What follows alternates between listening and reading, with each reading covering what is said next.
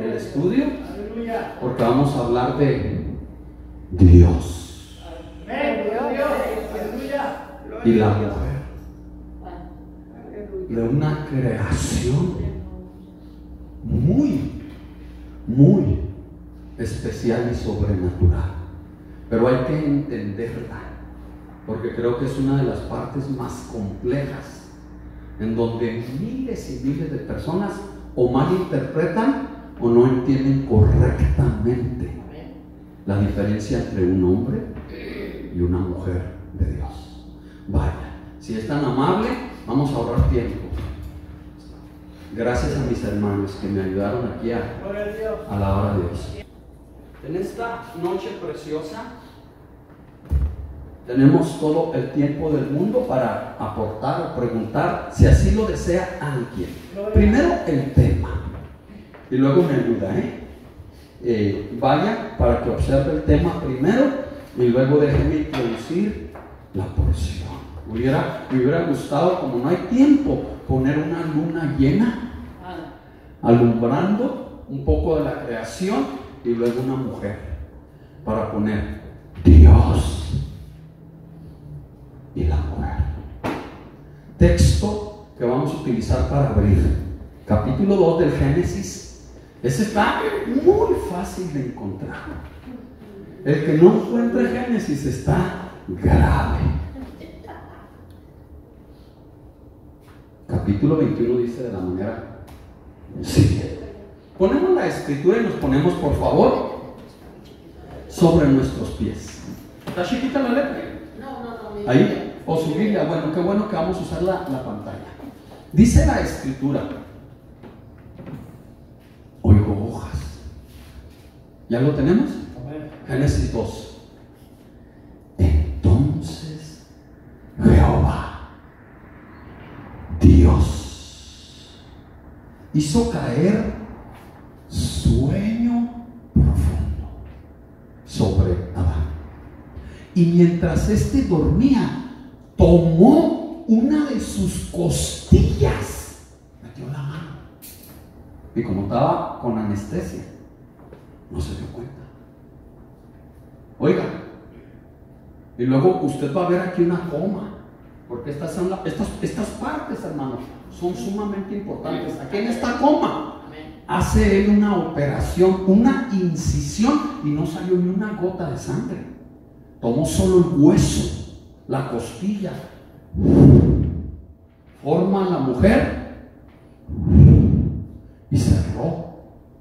la carne en su lugar. Hay una cirugía, una operación. Oiga esto, yo, yo estoy peleando con el tiempo. Y de la costilla que Jehová Dios, bajo volumen, estoy muy acelerado, muy recio, eso ahí está. Y de la costilla que, eh, ¿dónde está la costilla? Jehová Dios tomó del, se me la costilla tomó Dios del hombre, hizo una dama, una mujer, y la trajo al hombre, se la presentó. Acaba de salir de la anestesia y dijo, wow, hermano, abrió los ojos el hombre porque le trajeron por primera vez a una mujer. Ya habían traído de los animales y de todas las creaciones algún ser para Adán, pero no se encontró. Y cuando le trajeron a la mujer, entonces el hombre se quedó impactado e impresionado de esto. El mismo que formó al hombre viene y lo forma a la mujer. Por favor, si es tan amable, tome usted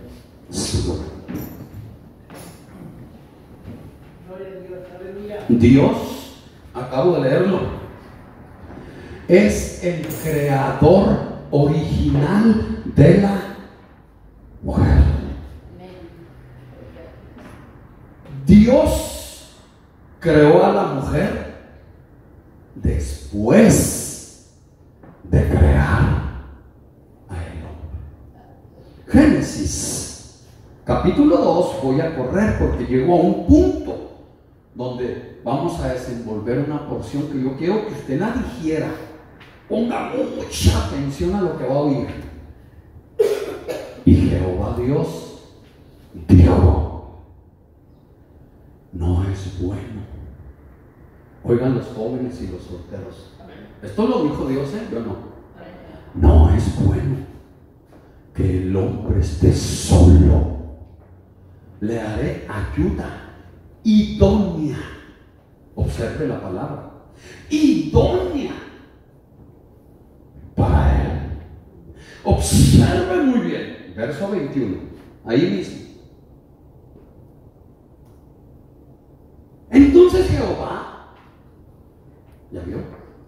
Usted me va a entender ahorita. Hizo caer sueño profundo sobre Adán y mientras éste dormía, tomó una de sus costillas y cerró la carne en su lugar. Y de la costilla que Jehová Dios tomó del hombre, hizo una mujer y la trajo al hombre. Dijo entonces Adán, es ahora hueso de mis huesos y carne de mi carne. Observe, esta será llamada varona, porque del varón fue tomada. Entonces, eh, Dios creó a la mujer después de crear al hombre. La mujer fue creada por causa del varón, porque Dios dijo, no es bueno que el hombre esté solo. Vea por favor el orden, observe. Primera de Corintios, capítulo 11, versículo 9. Y tampoco el varón fue creado por causa de la mujer. Quiero que vea eso. Le estoy enseñando un orden. lo que yo diga, yo lo tengo que probar. Si no está escrito, diga no es cierto. No diga Pero si está escrito, mire, acabo de decir que la mujer la creó Dios por causa del hombre. La mujer por causa del hombre. Entonces Dios hizo a la mujer y la trajo al hombre. Y lo interesante es que la hizo de su mismo cuerpo. Voy a hablar de un tema doctrinal muy precioso. Y dice la escritura que Dios la hizo de su mismo cuerpo para que el hombre la. Lo interesante es que cuando Adán supo que había sido tomada de él, es cuando él dijo en Génesis 2.23, esto es ahora hueso de mis huesos y carne de mi carne. Esta será llamada varona. Es la única persona que en el Génesis tiene tres nombres, Eva. Tiene tres, pero eso lo vamos a ver en otra oportunidad. Oiga, ese es uno de los nombres, varona. Porque del varón fue tomada. No más lo que estoy diciendo lo estoy leyendo para que usted crea lo que voy a enseñar. Entonces yo estoy leyendo que la mujer no fue un invento improvisado.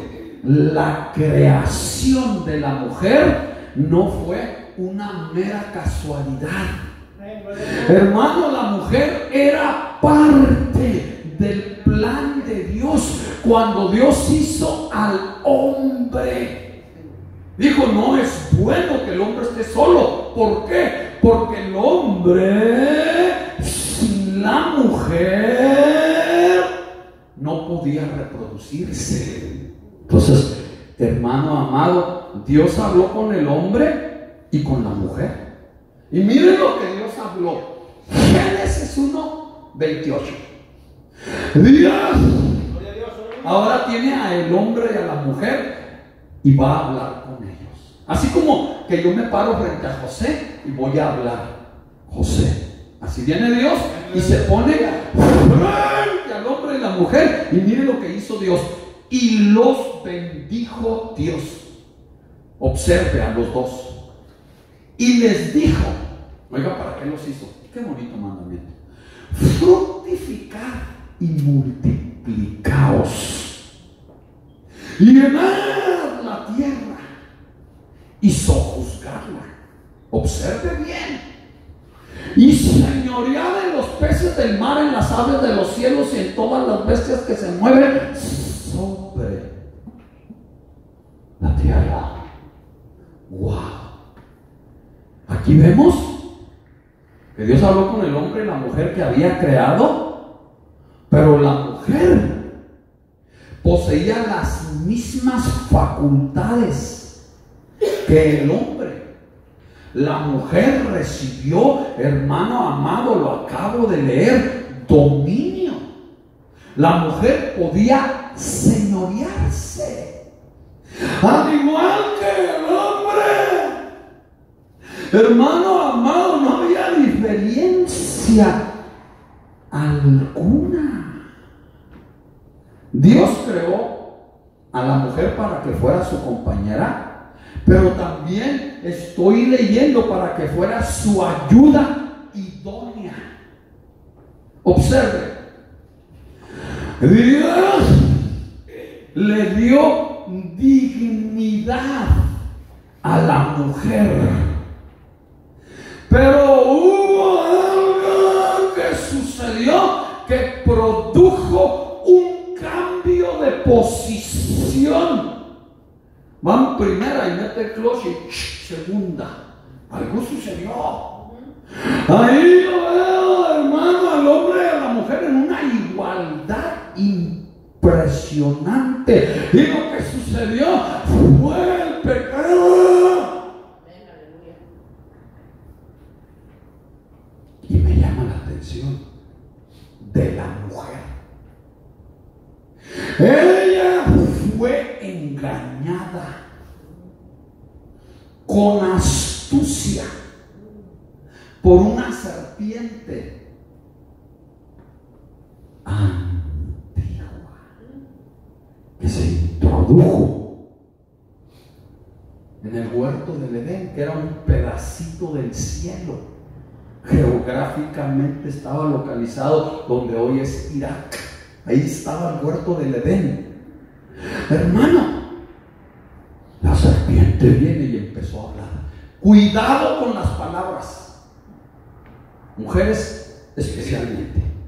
Oiga las palabras, la serpiente empezó a hablar y la mujer Dios la hizo audible. Si a una mujer le dicen aquí en el oído, disculpe usted, perdóneme. Solo quería decirle que está usted muy hermosa. Está usted muy bonita. Hermano, se ruboriza por naturaleza. La mujer es audible y el hombre es visual. Pero observe, por favor, lo impresionante de lo que yo voy a decir. Viene la serpiente, como la serpiente es antigua. Entonces empezó hablarle palabra a Eva. ¿Y sabe qué hizo la serpiente? Empezó a contradecir la palabra que Dios le había hablado a Eva. Y Eva le creyó a la serpiente. Oiga esto.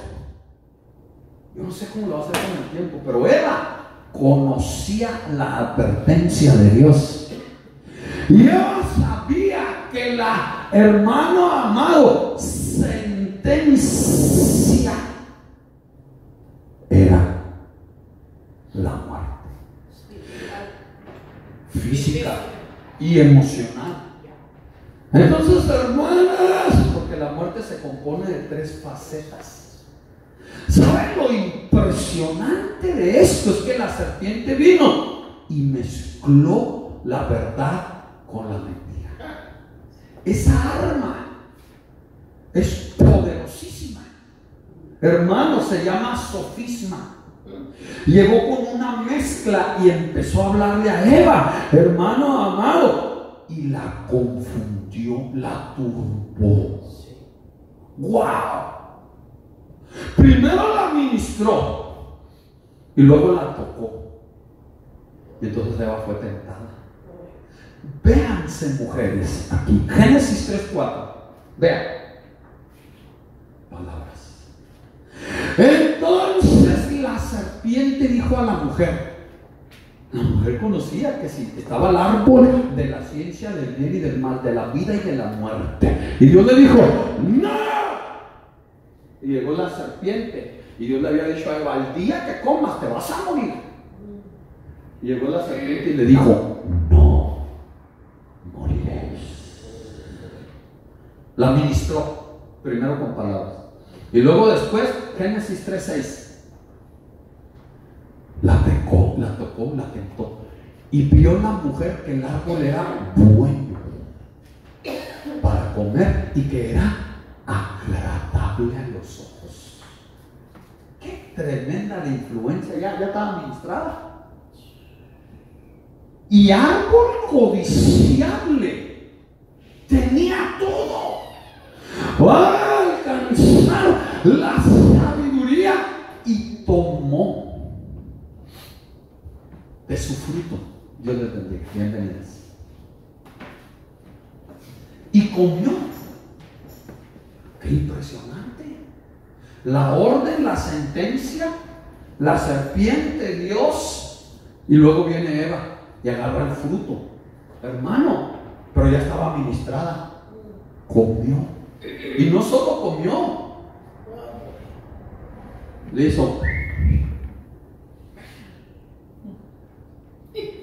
le dio a su marido. Oiga, y le dio a su marido.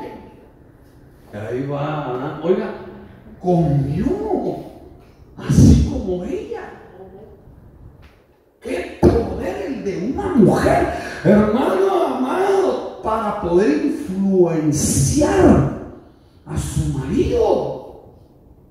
Oiga, ella convenció al hombre para que el hombre pecara.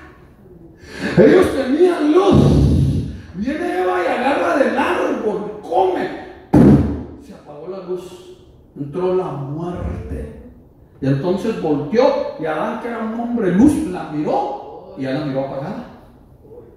Pero mire, lo hizo que lo convenció para que pecara. Así no batalló mucho. Mire el poder de una mujer influenciada Primera de Timoteo 2.14. Oiga, el hombre estaba consciente. La serpiente no llegó a pelear contra Adán. No, no, no, no. Porque Adán iba a sacar la espada, hermano. Adán guardaba el cuerpo del Edén, lo labraba, lo cuidaba de los enemigos de Dios. Adán tenía autoridad, poder, semejanza de Dios. Oiga, pero la serpiente miró a Eva y dijo, mm". y Adán no fue engañado sino que la mujer siendo engañada incurrió en transgresión. Violó la orden de Dios conociendo y sabiendo con conciencia que la sentencia era muerte. Note, en Génesis, Satanás no aparece. Hermano amado, note por favor, para convencer al hombre, ni se le acercó la serpiente al hombre. Pero ¿sabe qué es lo que me llama la atención? Adán no fue engañado. Él no debía comer del fruto. Adán no debía obedecer la voz de su mujer, tenía que obedecer la voz de Dios. impresionante es que obedeció a su mujer antes que a Dios. Entonces vienen las consecuencias del pecado. Yo quiero que vea algo importantísimo que hizo el pecado. Vea, tres cosas recayeron como sentencia sobre esta mujer llamada Eva. Génesis 3, 16. Viene Dios y le dijo a la mujer, habló el Padre, soltó una sentencia. A la mujer dijo, multiplicaré en gran manera los dolores de tus embarazos o preñeces. Número uno. Número dos, ahí está, con dolor darás a luz tus hijos. Número uno. Número dos, y tu deseo será para tu marido. Y número tres, y él se enseñoreará de ti. Vea el cambio de primera a segunda. Observe despacito. Tres cosas muy importantes. La primera cosa es, multiplicaré en gran manera los dolores de tus partos. Quiere decir que el plan original de Dios, hermano amado, hablando de esto, quiere decir que los dolores, hermano amado, serían mínimos, serían lógicos, normales y naturales, comparados con los dolores que tienen las mujeres cuando van a dar a luz un hijo. Yo he estado, cuando mi esposa, a mis dos hijos, hermano amado, dio a luz, le corté el cordón umbilical a los dos niños.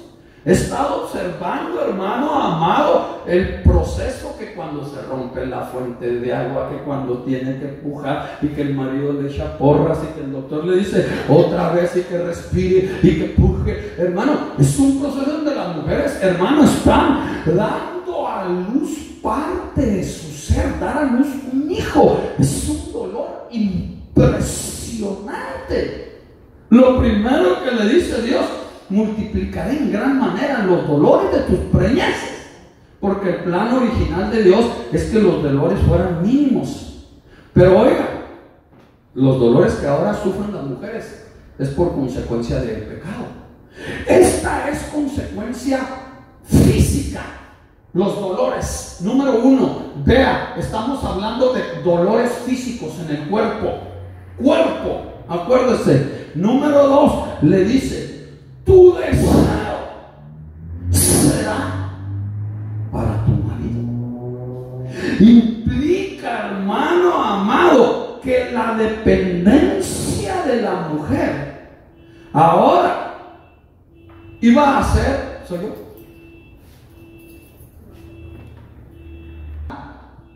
Para tu marido.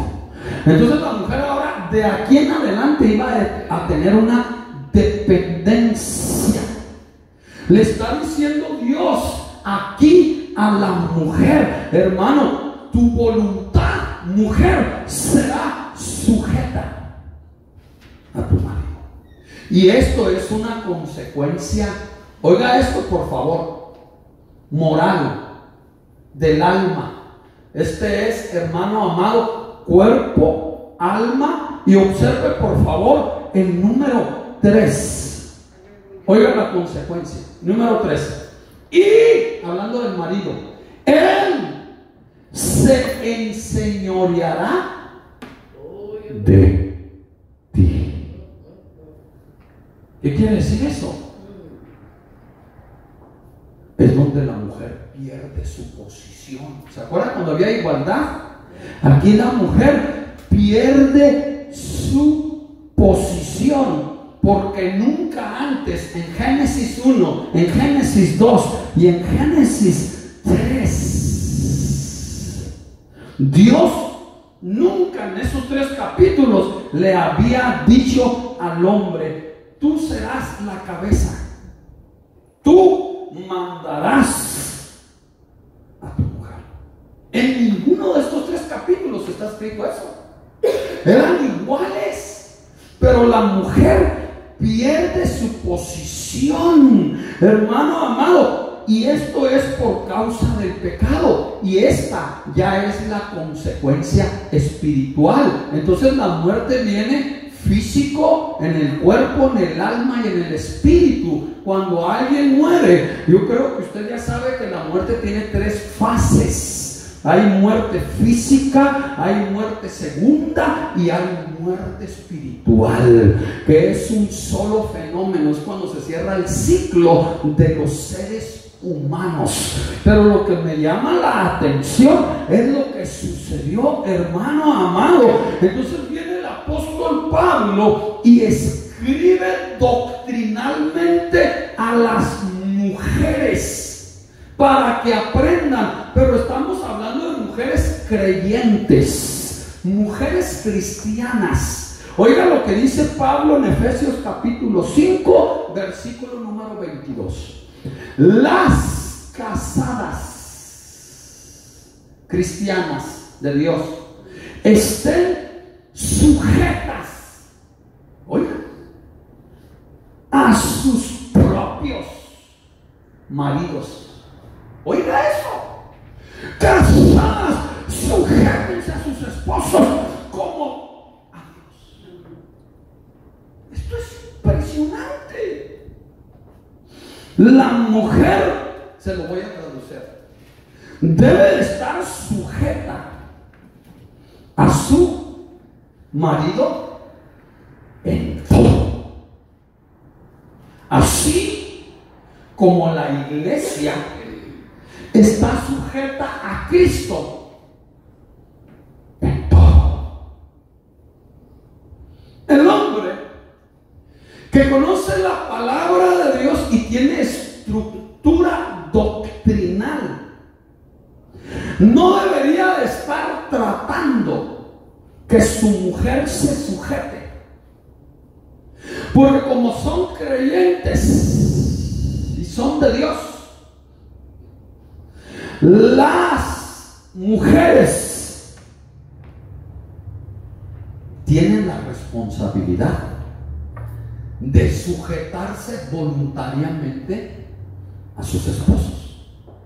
Les conviene porque es un principio establecido. Cuando alguien se sube a un auto, se tiene que sujetar su cinturón. Porque tiene un accidente y no trae cinturón, o muere o termina chato por el golpe. Oiga, la sujeción Dios la estableció. Pero lo que me llama la atención es lo siguiente. Tito, capítulo 2, versículo 1. Esto lo enseña Dios, yo no. Pero tú habla lo que está de acuerdo con la sana doctrina. ¿Qué dice la Biblia?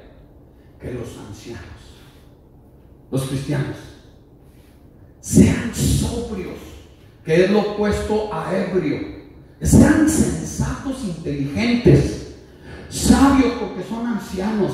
Yo cada rato ando corrigiendo ancianos. Porque hay ancianos que se quejan, hay ancianos que tienen miedo.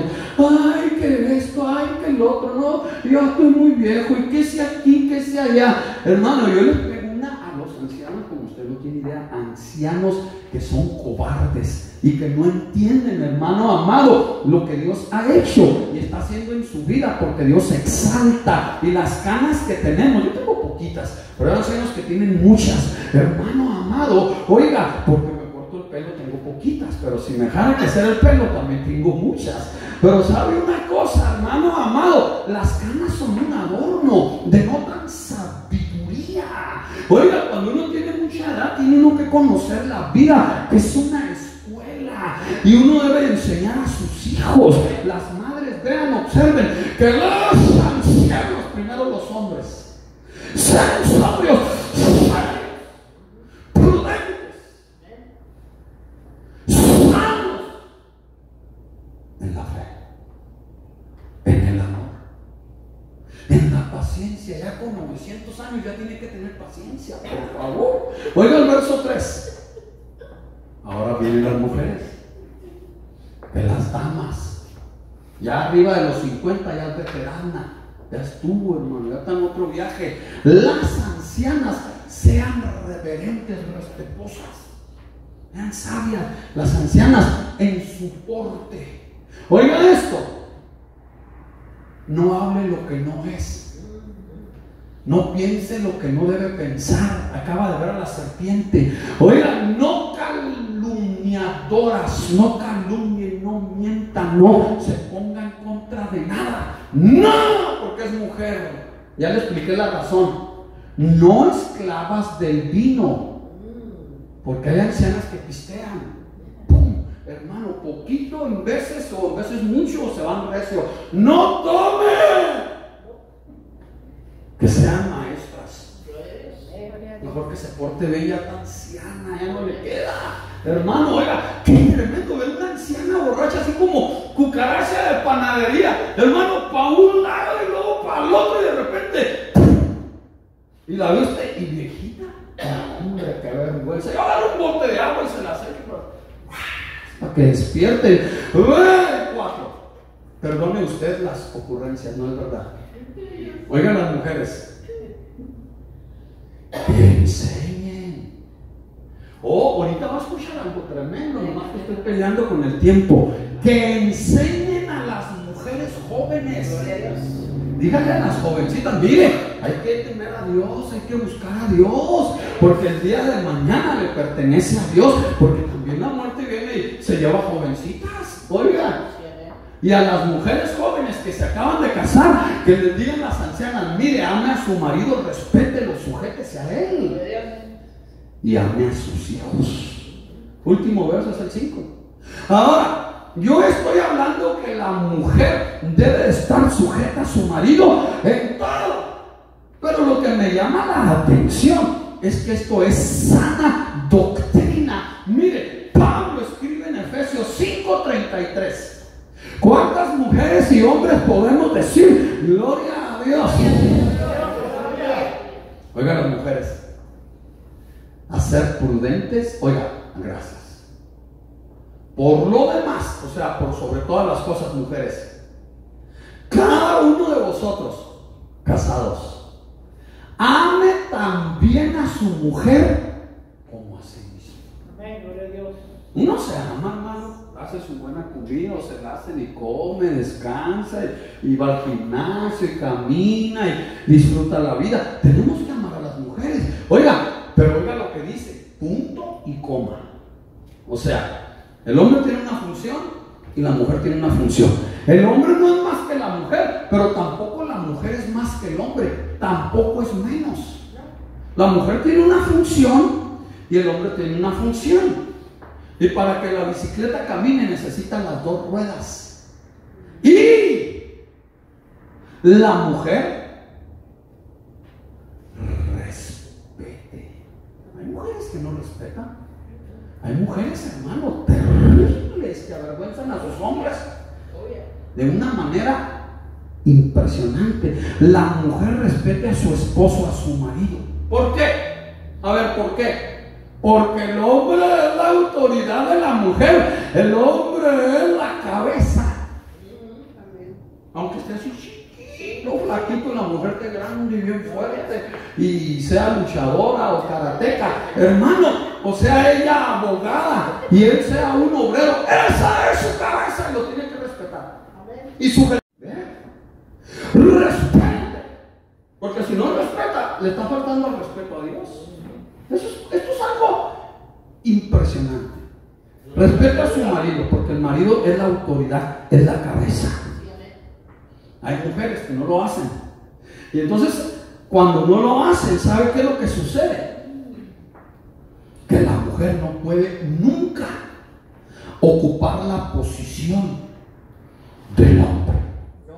Ni oponerse, ni oponerse a su cabeza. No. La Biblia dice no. Quiere decir entonces, hermano amado, que las mujeres lo único que tienen que hacer, ya lo leímos, ser maestras del bien. Dice que las mujeres enseñan. O sea, las mujeres tienen un lugar dentro del ministerio. Estamos estudiando un tema doctrinal. Hermano amado, nunca la mujer, si es madre soltera, jamás yo he oído a miles de mujeres decir, yo he sido padre y madre. No es verdad y nunca podrá ser nadie padre y madre. Solamente madre, porque es femenina y es mujer. Si no tiene esposo, entonces que le ponga como, como cabeza a Dios a sus hijos. Pero ella debe de ser una buena madre para que el hijo tenga una identidad. Y si le falta la, la, figura paternal, vale más que lo empiece a destrar y a enseñar, hermano amado, que Cristo Jesús, que Dios es el que lo creó y Él es su Padre. Y que Él un verdadero Padre. Él es Padre de los espíritus. Él nos ama más fuerte que nuestros padres y que nuestras madres. Bendito sea Dios. Démosle al Señor, por favor, en esta noche una ofrenda de padres. Pero hablemos ahora del ministerio, porque voy a, recortar el tiempo para eh, utilizar el micrófono pregunta. Dice la Biblia que tanto el hombre como la mujer fueron redimidos con la misma sangre del Cordero de Dios y los dos pecaron. Ya vimos que fue Eva quien engañó a Adán y que fue ella quien pecó primero. Pero a Adán nadie lo obligó, él pecó voluntariamente también. Entonces los dos fueron redimidos. Los dos fueron redimidos con la sangre del Cordero de Dios por causa del pecado original de Adán y de Eva. Entonces la Biblia pone a la mujer en una posición impresionante porque Dios a la mujer desde el Antiguo Testamento le ha dado dignidad, la ha exaltado porque es una creación muy especial, es un vaso frágil, ella es bien sensible a atraer la presencia de Dios. Una mujer cuando ama se total y completamente. Y una mujer cuando ama a Dios se consagra, se santifica, tiene pasión, tiene fe, tiene amor, tiene certeza, tiene convicción, tiene esperanza. Ama a Dios, hermano amado, de una manera tan tremenda. El luego, luego derrama su alma, sus lágrimas con facilidad y se por eso es que Dios siempre ha exaltado a la mujer. Pero si usted va a ver algo que yo voy a enseñar, corriendo, corriendo lo va a hacer.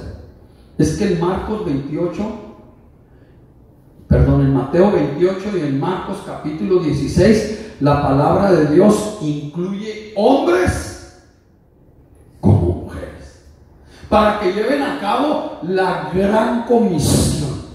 ¿Qué es la gran comisión? Ir por todo el mundo y predicar el Evangelio a toda. Entonces quiere decir, hermano amado, que por medio de nuestro Señor Jesucristo, que tuvo gracia y misericordia, y también Dios Padre, la mujer también puede ministrar a otras personas con la palabra, con la oración y con la enseñanza. Pero ¿cuál enseñanza? la enseñanza de su vida. Con la enseñanza de que Dios vive en ella. Entonces, la pregunta del siglo número 21, que es, hermano amado, la era que nos ha tocado vivir es la siguiente. Es una pregunta que flota en los aires y que hay ministerios, escuelas bíblicas, estudios, hermano amado, en diferentes lugares, eh, eh, colegios, universidades e iglesias que rechazan total y completamente a la mujer. No vamos muy lejos, aquí en Pasadena hay muchas iglesias. Aquí se sientan las mujeres y aquí se sientan los hombres. Hermano, y la mujer, cuidadito y abra su boquita, ¿eh? Cuidadito y se ponga a hacer cosas indebidas porque olvídese Hermano, la mujer no puede tocar un púlpito, la mujer no puede enseñar, la mujer no puede testificar, la mujer no puede evangelizar. Hermano amado, y viene una enseñanza legalista errónea, bien tremenda en la Biblia. Pero nosotros vamos a ver en el Antiguo Testamento, usted va a estudiar en casa el libro de jueces, capítulo número 4. Acuérdense todo lo que hemos estudiado, ¿eh? Oiga, la mujer está bajo la cobertura del varón, ¿verdad? El hombre es la cabeza de la mujer. La mujer no puede tomar autoridad sobre el hombre. Pero mire lo que hace Dios. Yo le estoy leyendo la Biblia y se lo voy a, lo que le estoy diciendo se lo voy a leer. Mire lo que hace Dios. Usted lo va a leer en casa. Jueces capítulo 4, versículo 1 al 24. No lo vamos a leer porque son 24 versos. Yo estoy recortando el tiempo. Yo le voy a decir en 30 segundos esta historia. Los hijos de Israel pecaron contra Dios y vinieron los enemigos. Hermano amado, entonces no había varones. Dios en el sacerdocio había levantado a los hijos de Aarón, hermano de Moisés. Hombres, dice la Biblia, hijos, varones, no hijas, no mujeres. En toda la Biblia usted nunca va a ver una sacerdotisa. En toda la Biblia. Porque las sacerdotisas eran sacerdotisas del diablo. Solamente. Entonces en el, en el Antiguo Testamento nomás va a haber varones con vestimenta ejerciendo el sacerdocio. Pero Dios, al ver la necesidad, hizo una pauta en el tiempo de la ley para enseñar que Él es el Dios de la gracia y la misericordia y levantó a una mujer llamada Débora. Y ella era jueza. A ella venían los generales del ejército de Jehová a consultarla y ella estaba en una palmera y ella era profetisa. Ella les profetizaba y les hablaba de parte de Dios porque Dios estaba con ella. Fíjese, Fíjese bien, eso es lo que dice la historia de jueces, que Dios levantó a una mujer llamada Débora. Y cuando tuvieron que ir a la guerra, había un general y le dijo a ella, dice el Señor, que vayas a la guerra, porque va contigo y le va a dar la victoria al pueblo de Israel. Y dijo, tengo miedo, si tú vas conmigo voy, si no, no, le dijo, cobarde, yo voy a ir y voy a ir al frente como mujer, montando mi caballo, pero la victoria va a ser de una mujer y no de un hombre. Y fue. Y ahí iba el hombre en sus faldas atrás de ella, hermano, y le dio la victoria por una mujer fuerte, valiente, que le creyó a Dios. Y Dios le dijo, te voy a usar. Si ellos no pueden, levántate. Y lo hizo Dios. Ok. Entonces usted va a leer esta historia en su casa. Después levantó Dios a María ¿Quién era María? La hermana de Moisés y la hermana de Aarón. Cuando Dios viene y con brazo militar corta el mar rojo, lo abre en dos. Y la primera persona que se levanta era una ancianita de 90 años. Oiga, porque Moisés tenía 80, 80 y tantos. Y ella era como 10 años mayor. Casi 90 años o 90 y tantos y empezó a danzar y a cantar. María, la hermana de Moisés, y era la que dirigía la alabanza de las mujeres que venían con panderos y danzas, honrando y alabando a Dios. Usted lo va a ver en Éxodo capítulo número 15, versículo 20. Ella profetizaba. Y María la profetiza, hermana de Aarón, tomó un pandero en su mano. Y todas las mujeres salieron detrás de ella con panderos. Miren las viejitas lanzando y alabando y adorando a Dios, hermano, con poder y con gloria. Pero no solo eso. Estoy hablando de la mujer en el ministerio. Yo quiero que levante la mano si me están entendiendo aquí. Levante la mano, ¿quién me está entendiendo? Estamos tratando de ser lo más sencillos. Y, estoy en una carrera contra el reloj. Hubo una mujer, nomás les voy a dar un verso porque quiero cortar esto. Hubo en la Biblia una mujer que se llamó Hulda. Ella era profetisa. Ella fue usada por Dios para dar a conocer el juicio de Dios que venía. Segunda de Crónicas 34, verso 22. Entonces Ilicía y los del rey fueron a Hulda, profetiza, mujer de Salum, hijo de Tikba, Tikba, hijo de Arjas, guarda de las vestiduras, la cual moraba en Jerusalén, en el segundo barrio. Oiga, era de barrio. Oiga, qué tremenda profetiza, porque el hombre hermano amado estaba todo laqueado y no le creía a Dios y no hacía nada y Dios la levantó con poder y gloria. Y mire, la cual moraba en Jerusalén en el segundo barrio. Y le dijeron las palabras antes dichas. Antes y después de eso va a ver que ella profetizó, pero profetizaba y ella daba a conocer en su profecía el juicio de Dios. Ahora corro para ver a otra anciana. Estoy hablando de las mujeres en la obra de Dios. La obra de Dios no se puede hacer sin mujeres. Pero en un orden. En un orden. Y es lo que la mayoría de gente no tiene. Por eso las mujeres tienen que aprender cuál es el orden. Para que Dios las bendiga y las use sobrenaturalmente. Esta era una anciana de más de 84 años de edad.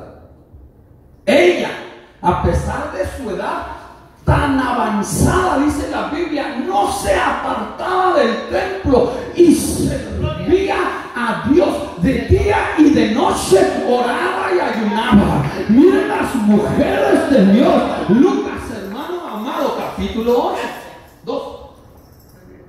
Estaba también allí Ana, profetisa, hija de Manuel, de la tribu de Aser de edad muy avanzada, pues había vivido con su marido siete años desde su virginidad. Aproximadamente 17, 18 años se desposó, o sea, se comprometió, se casó a la edad de 22, máximo 23 años, quedó viuda. Hermano, pero a la edad de 22 años, por favor, mero mole, tanto el hombre como la mujer, 22 años, ¿sabe qué hizo? Esta podía haberse casado. Y tenía la autoridad y el derecho legal de parte de Dios porque quedó viuda. Ella no mató al marido. Entonces, ¿sabe qué? Se podía haber casado de nuevo. Pero ¿sabe qué hizo? Dijo, no. ¿Sabe qué hizo? Se consagró a Dios y se entregó de tal manera que le servía. Sirviéndole a Dios con ayunos y oración. Ella no faltaba a la iglesia. Ella era fiel. Esto es cosa seria. Esto es un pacto de amor que ella había hecho con Dios. Pero oiga, vea por favor, más mujeres, rápido, rápido. Algunas mujeres, hermano, como no hacían esto, entonces ellas compartían de otra manera ayuda para la obra de Dios. Siguiente porción sería Lucas capítulo 8, verso 2 o 3. Y algunas mujeres que habían sido sanadas de espíritus malos. ¿Saben lo que quiere decir eso? Algunas mujeres que habían sido sanadas estaban enfermas. Por favor, alguien me puede decir de las mujeres, ¿cómo se llaman los espíritus malos? Demonios. No, ese, es otro jale, piensa en eso, Son demonios. Estas mujeres estaban malillas, estaban enfermas. Pero llegó Jesús y la sanó. Hermano, tenían enfermedades físicas causadas por demonios. Hay cánceres, hay diabetes, hay artritis, hay amarguras. Hay, hermano, enfermedades del corazón, derrames cerebrales, enfermedades que son causadas por espíritus bajos, ángeles caídos, por luego pone el ejemplo de una que estaba terrible y pesada, que se llamaba María. Y a esta le decían la Magdalena, hermano de Apolo. ¿Sabe por qué? Porque esta movía la pelota, oigan, el barrio era la que reinaba y gobernaba todo el asunto. Porque de adentro de ella llegó Jesús, le puso la mano y con amor la amó, hermano amado, y le sacó de adentro de ella ¿Cuántos? No eran ángeles. Demonios. Y si salen, es porque se meten. Por favor, si usted ve a las mujeres, hermano amado, de lo que son capaces cuando están del lado del reino de las tinieblas. Por favor. Oiga, ya leímos y vimos que Satanás no pudo tumbar a Adán. Pero llegó la mujer y lo tumbó. Yo he visto en la frontera cuando yo estaba de 15, 18 años, así, mire, una mujer delgadita saliendo de prisión, pequeñita, pelear contra un animalote. Así, mire, Uma llegó, la aventó así con un alambrito de fierro. Uma le puso el alambre de metal, se volteó, se inclinó, mire. Dos minutos, ahí la mató así, así. En la noche va y se acuesta, se levanta. En tres minutos va y mata a dos, tres, cuatro personas. Y usted la ve, un pedacito así. Pero este cata viene de la prisión, trae una, una, una mentalidad alta, una escuela. Hermano, y ella está llena de demonios. Hay mujeres que son cosas, son armas, son poderosas. Oiga, esta mujer se llamaba María Magdalena y tenía siete demonios. Llegó Jesús y la sanó con amor. ¿Sabe lo que siente ella por Jesús? Lo amó. Se entregó a él. Predicó su palabra. Se ganó alma. Fue feliz. Fue libre. Tenía gozo. Tenía paz. Tenía en su rostro brillo. Ella fue una tremenda de Dios. Pero mire quién era antes. Mire quién era antes. Entonces yo quiero que vea esto. Porque esto es doctrina. Verso 3. Juana, mujer de Chuza, intendente de Herodes. Estas estaban trabajando en el gobierno. Estas eran de la high class. Y Susana y otras muchas. Estas tenían buenos empleos. Trabajaban con Roma. Estas agarraban un pago, pero impresionante. Y como no andaban con Jesús, pero el amor ya las había administrado de Jesús, amaban a Jesús y eran de Dios, estas le servían a Dios con sus finanzas. ¿Cuántos saben que la obra de Dios cuesta dinero? Usted sabe que fe. Hermano amado, la obra de Dios no se puede hacer sin dinero. Yo quiero que usted sepa que es una gran responsabilidad. Mire las mujeres cómo le servían a Dios. Por último, las mujeres empezaron a predicar el mensaje de la resurrección de Cristo Jesús. Esto lo va a ver usted. Ya nomás tengo un verso. Mateo 28, verso 1 al 10. Ahí está la María Magdalena. Y la otra María. Y después va a haber a otra María, una de Marías, pero que amaban a Dios. Pero es que las Marías están pesadas. Pues las Marías, hermano amado, cuando aman a Dios, cuidado con las Marías. Y no estoy hablando de las del DF, las de allá del pueblito que vienen, que tienen trenzas así. No, esas no, hermano. Que venden dulces en la calle. De esas Marías no. Estoy hablando de estas Marías que Dios se les revela. Y miren la hermana cómo se está gozando. Y se goza ella, hermano, porque sabe de cuáles Marías estoy hablando yo, de estas. Ahora vea, porque yo ya terminé. Usted lo va a leer en casa, son nueve versos. No más voy a dar un solo. Un solo verso. Ok.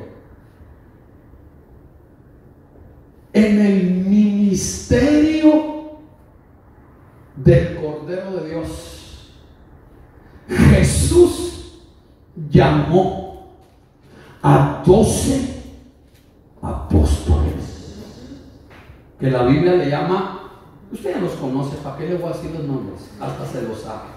Mateo, Marcos, Lucas, ya, doce hombres, ni una sola mujer. Allí en el apostolado no había una sola mujer. Después viene Cristo Jesús y envía a 70 discípulos. Y los 70 eran hombres. iban a llevar al reino de los cielos a los hogares. Ahí no ve ninguna mujer.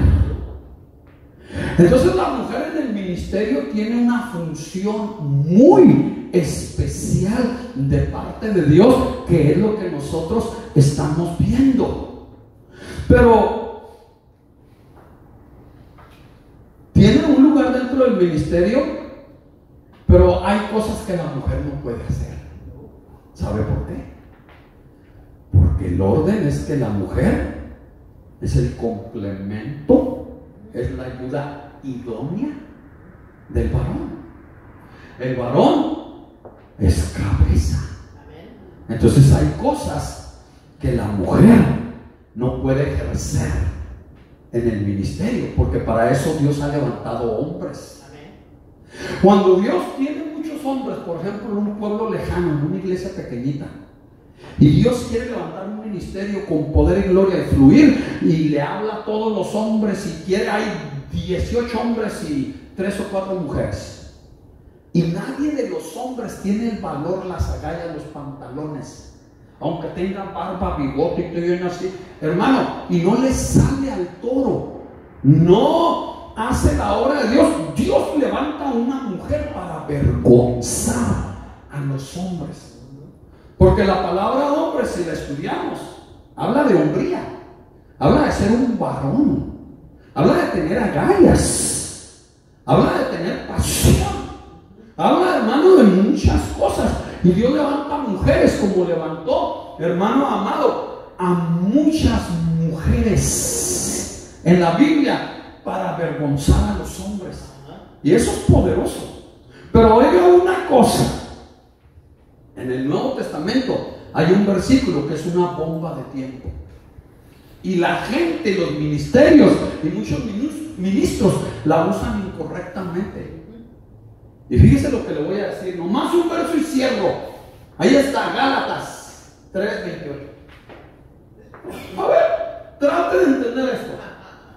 Ahora, ya no hay judío. Ya no estamos en el Antiguo Testamento.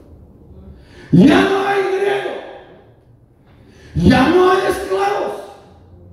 Porque Cristo Jesús nos ha hecho libres, ¿verdad? Espiritualmente.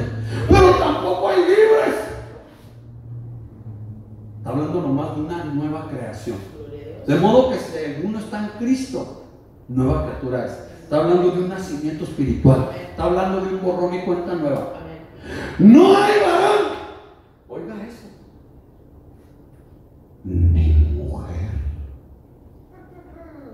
Eso es una bomba, porque ahí se levantaron las mujeres, hermano amado, oiga, y empezaron a hacer marchas. Y como de que no, las mujeres podemos manejar trailers, trabajar en construcción, también boxeamos y tiramos guante. Y las mujeres empezaron con la igualdad femenina. Y de ahí nace lo que se llama matriarcado, el espíritu de Jezabel. Mm. Cuando la mujer se sienta y gobierna y en vez de que el hombre mande y sea la cabeza, la mujer es la cabeza. Y a eso ya es del diablo. No hay varón ni mujer, porque todos vosotros sois uno en Cristo Jesús. Entonces, aquí es donde está todo. Todo lo que le traje desde el Antiguo Testamento era para llegar aquí. Dios desde el cielo no ve la debilidad externa de la mujer, porque la mujer es un vaso frágil. Hermano, el hombre supuestamente debe ser más fuerte que su mujer o que la mujer. Dios no ve su naturaleza femenina. Dios lo que ve es que la mujer es un miembro del cuerpo de Cristo Jesús y cada miembro tiene una función. Los ojos ven, los oídos oyen, los pies alcanzan, los pies caminan, las manos agarran para alcanzar. Hermano, cada miembro del cuerpo de Cristo tiene una función. Y Dios en el Antiguo Testamento, como en el Nuevo Testamento, siempre ha usado mujeres. Pero siempre ha sido en el ministerio profético siempre ha sido hermano amado, donde las mujeres hablan de parte de Dios y las mujeres tienen dones espirituales igual que los hombres. Joel, en la profecía del Antiguo Testamento, escrito estaba que en los últimos días Dios derramaría de su Espíritu Santo sobre hombres y sobre mujeres, sobre niños y sobre ancianos, dice, sobre siervos y sobre siervas. Conclusión, y cierro mi Biblia. Yo quiero que me ayude a entender nada más lo que voy a decir. Todas las mujeres creyentes tienen un lugar muy especial dentro del ministerio de la iglesia de Cristo Jesús. ¿Cuál es el lugar de las mujeres? Son ayudas. Tienen la unción para ejercer el ministerio. La Biblia dice que hay cinco ministerios que Dios levantó y estableció. Número uno, apóstoles. ¿Sí? Número dos, pastores. Número tres. Número cuatro, evangelistas. Número cinco, maestros. Entonces, hermano amado, Jesús no llamó a ninguna mujer para el ministerio de apóstol. No lo puede ejercer una Hermana Ana, ¿una mujer puede ser pastora? Dígalo en voz alta porque no lo oí. No. ¿Absolutamente? No. ¿Qué dice usted, don No, porque una mujer no puede enseñar al hombre. Bueno, ahí es, ahí, ahí es donde, donde tienen que entender qué significa enseñar, porque acabamos de ver que la mujer enseña a los más jóvenes. Sí, a los jóvenes. ¿Qué, les enseña a los jóvenes? Ah, como cosas de mujeres. ok, entonces, entonces vamos a hablar solamente unos minutos en referencia a esto. Ninguna mujer puede ser apóstol de una iglesia.